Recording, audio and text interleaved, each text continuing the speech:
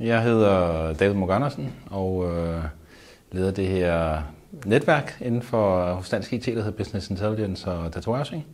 Øh, jeg har arbejdet med området de sidste 20 år inden for konsulentverdenen og øh, har arbejdet både som selvstændig i store konsulentorganisationer. De seneste mindst fem år har øh, Gartners øh, liste over CIO'ens øh, topprioriteter faktisk øh, indeholdt øh, Business Intelligence Data Warehousing som, øh, som prioritet 1. Som medlem af netværket, så får du en, en, en del øh, fordele. Der er jo den øh, fordel, du møder ligesindet i en, øh, en fortrolig kontekst.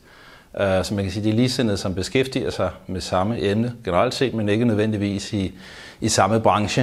Øh, og det kan godt give nogle, øh, nogle gode måder at, at komplementere hinanden på.